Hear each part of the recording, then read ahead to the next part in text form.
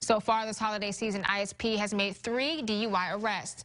They've also seen less accidents. State police increased their patrols with the help of federal funding. It allows more troopers to be out on the road. Sergeant Matt Ames says going into the new year, they want to make sure drivers are being responsible at all times.